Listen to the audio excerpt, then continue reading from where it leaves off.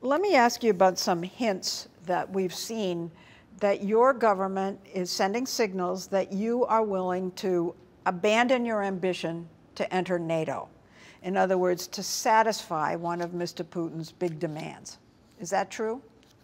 No, we are not sending such signals.